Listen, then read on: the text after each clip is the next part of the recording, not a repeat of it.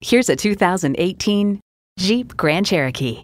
Everywhere you want to go, anything you want to do, Jeep takes you there.